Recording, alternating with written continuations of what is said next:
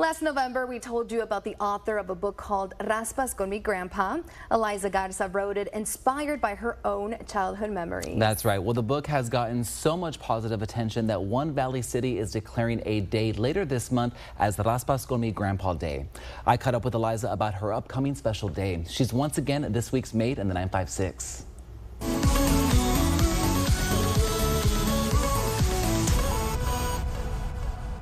Last November, I told you about Eliza Garza. She's the author of this book, Raspas con mi Grandpa.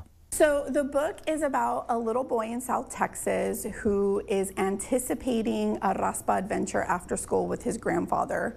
You get to hear a lot of the terms that we have here in the Valley slang, mija, mijo, what chamoy is, what tamarindo is, where it originates from. We eat a lot of these things, but we don't even know what they are. We just know they taste good, right? So I really wanted the child to know what they're eating too and get the history of these snacks and where they're from.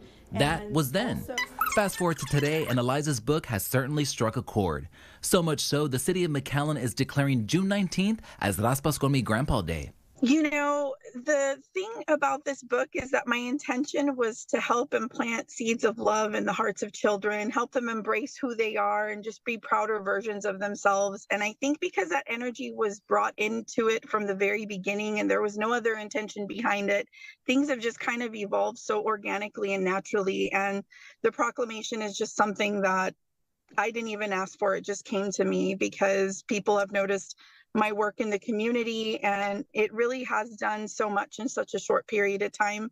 It's a little book with a profound purpose and a profound message. Eliza spent this past year touring schools, and she's not slowing down. Other schools have called from San Antonio, Houston, and beyond. However, the Valley is who the book was written for. It's about the Valley, it's for the Valley. The people who brought the book to life are all from the Valley. So I want to make sure that I finish touring here first. I already have a full schedule for next year where I'll be touring more elementaries. However, it's taken a really interesting turn with me actually going to visit middle schools and high schools now because the book's message has such a deep seated message that I'm able to transcend elementaries and actually speak into the hearts of young people and even young adults. And this book certainly won't be her last. I do have some other books in the pipeline. They are all Spanglish stories. They will follow the same methodology of promoting connection, promoting our culture, showcasing um, the richness of the valley and just who we are. That it's going to be Puro 956 up in these books. Eliza Garza and all her books made in the 956.